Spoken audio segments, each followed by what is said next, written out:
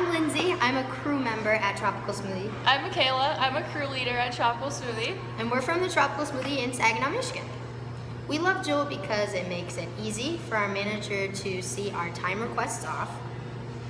It helps us um, have access to um, other employees' numbers so we can contact them and make trades easier. And we love Jolt. Yay!